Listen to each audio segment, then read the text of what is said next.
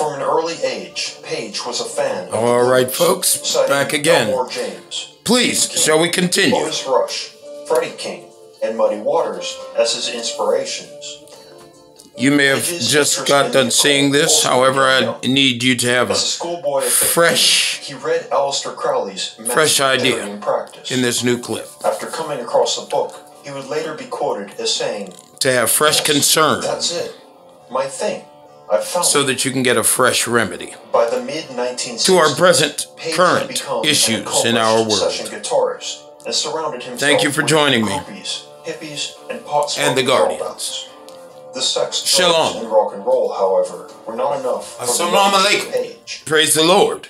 After rising to fame in the Yardbirds, Jimmy founded a new quartet, Led Zeppelin. And to any religion, religious faith I've missed, please forgive me. Previously managed Hello and bless you. and the Animals. Within a year, the band had gathered a cult-like following among rock fans in the United Kingdom, Europe, and United States. Fans immediately began to notice Page's fascination with the occult. In the few interviews he gave, he made frequent reference to the occult and his study of it. He once told a journalist that you cannot ignore evil if you study the supernatural as I do. I have many books on the subject, and I've also attended a number of seances. I want to go on studying it. And go on, he did. Page is thought to have asked his bandmates, Robert Plant, John Bonham, and John Paul Jones, to perform a ritual with him that would cement Led Zeppelin's name in rock and roll history and set them up for life. The ritual, however, could not be spoken of. It would redefine their futures and that of Led Zeppelin. Among occultists, this type of magic is not taken lightly. It involves the conjuring of ancient spirits, the gods of men. These rituals, which would have been all too familiar to Aleister Crowley, should only be performed by experienced occultists and wizards, not half stoned musicians, one practitioner would later claim. It is commonly thought that out of the quartet, the only member to refuse to participate in the ritual was John Paul Jones. The trouble started for Led Zeppelin soon after their rise to popularity, coinciding with the alleged ritual. First, Robert Plant was nearly killed in a serious car accident. Then, just two weeks later, his Aston Martin fell on top of him and crushed him, breaking his ribs. Perhaps this was an omen of the greater harm that was still to come. Perhaps the half stoned rockers of Led Zeppelin were not as great magicians as they thought they were. Hmm. Hmm. Almost immediately, Led Zeppelin's fan base began to swell to become an indomitable and unforgettable rock force still adored by millions to this day.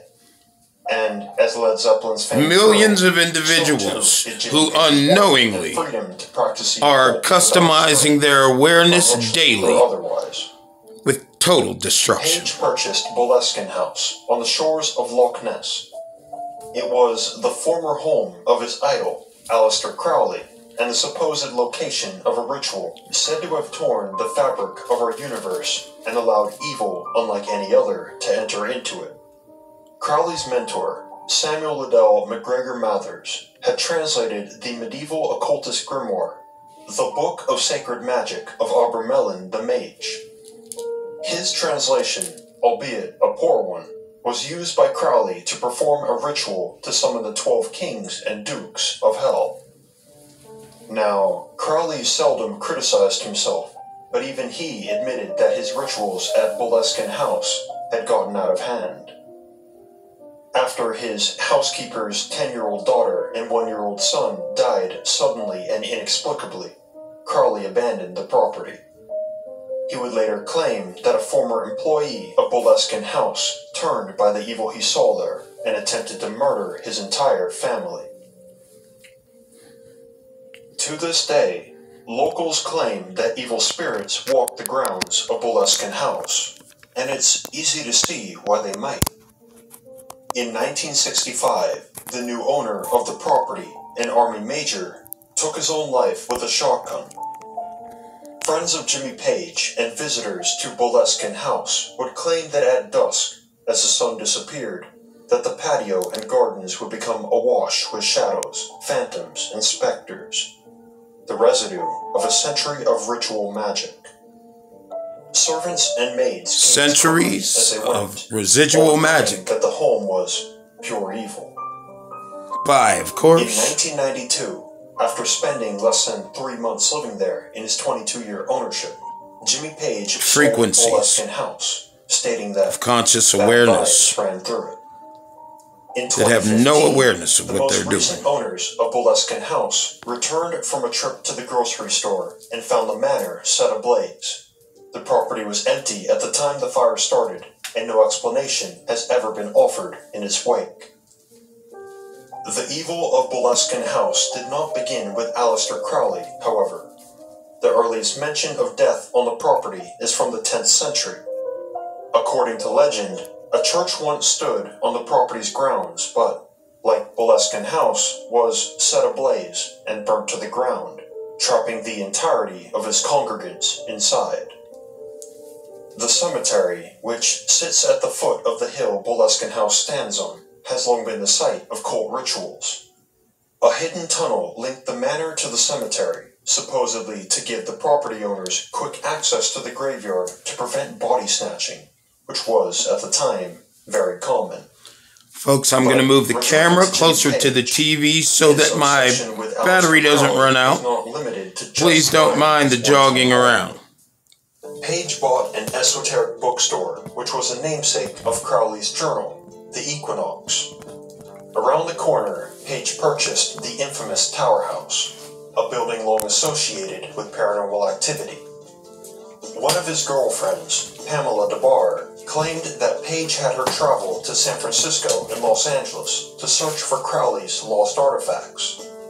There, she was able to locate a number of manuscripts, pieces of magical apparatus, and Crowley's ritual robes. Page, of course, had his own robes. He often arrived on stage wearing custom made, one off costumes. Possibly the most notorious of these was Page's infamous dragon suit, a black one piece embroidered with his personal sigil, a full length Chinese dragon, and astrological symbols. Experienced occult practitioners assert that Page's costume was indeed a magical robe used in onstage rituals. Page's fascination with Crowley spilled over into Led Zeppelin's album covers and artwork too. On Led Zeppelin 3, carved into the vinyl with a stylus, we find the inscription, So mote it be, on one side, and on the other, Do what thou wilt. Do what thou wilt is a core article of faith in Crowley's Thelemite belief system and powerful magical incantations. The infamous magician and friend of Page, William S. Burroughs, believes strongly in the power of electrical magic. The idea of harnessing electricity to perform occult rituals. So a Thelemite magical incantation spinning on millions of turntables across the world at the same time would make for a good example of this. The other phrase, so mote it be, originated among the Freemasons. In English, it is customary to end a prayer with the word Amen, which is a Latin word meaning so be it. The word mote in English is an archaic verb that means might or may. So mote it be then means so may it be. In Freemasonry, every ceremony ends with these words, which is likely where Jimmy Page took it from. However, there is a more interesting theory. In the Arabic language, Mo or al means death. So mote it be could, in theory, mean so death it be. When we consider Page's fascination with Eastern esotericism and ancient Egypt, the theory holds some weight. By Led Zeppelin IV, the occult symbolism became painstakingly obvious, as if Page no longer made any attempts at hiding it. On the inside of the album's cover was a painting of the Hermit, a tarot card symbol, and from left to right on the inner sleeve were four sigils representing Page, Jones, Bonham, and Plant, respectively. Most of these sigils can be traced to Rudolf Koch's 1955 Book of Signs, a work featuring a collection of ancient magical and alchemical symbols from across the world. Robert Plant's sigil is said to be the Feather of Truth, a representation of the Egyptian goddess Mayat. Ma'at. John Bonham's was the least occult-like. This is what we will align with, folks. John Paul Jones' sigil was a Celtic symbol, co-opted by Christianity to represent the Trinity among the Britons. This will ensure that we Page's will personal sigil, an inscription that reads Zoso, is harder to inherit this new kingdom. Some say it originated in the famed black magic grimoire Le Dragon Rouge, an arcane text which contains detailed instructions. The new high vibrational kingdom that will arise as a result of your publicly claimed that he will never tell anybody what the sigils mean, electromagnetic not least his own. mental power. This is interesting in and of itself, as occultists and chaos magicians ascertain that a powerful sigil must not be spoken of after the spell is cast, or the spell will backfire. Page purportedly once revealed the meaning of the sigils in a quiet moment to an intoxicated Plant.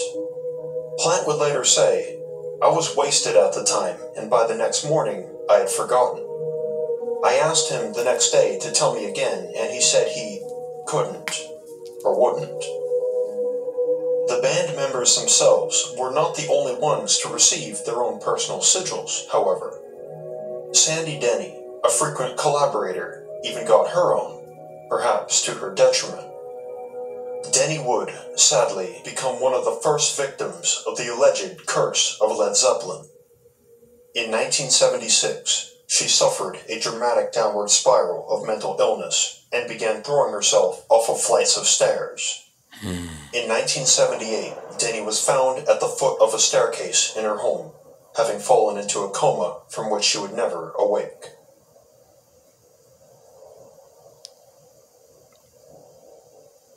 Can you imagine the level of unconsciousness in The us, males and females at the top of the food chain? Anger, in this Matrix program. Page at an auction for some of Aleister Crowley's collectibles. Unbelievable. Page outbid Anger. We are now despicable. Shortly after, and Anger commissioned Page to compose the soundtrack for his latest project, Lucifer Rising. Fair warning to all of you watching the film Lucifer Rising is believed by occultists to be a form of electric magic, similar to the vinyl etchings on Led Zeppelin 3 mentioned earlier. The entire film is likely a ritual in and of itself. In theory, by watching the film, you participate in the ritual and sacrifice your own energy. So, for that reason, I won't show footage from the actual film here, only stills. Lucifer Rising had, at that point, already been a chaotic production. The film's seven year development had already gone awry after its lead actor, Bobby Beausoleil, a member of the Manson family, had abruptly quit.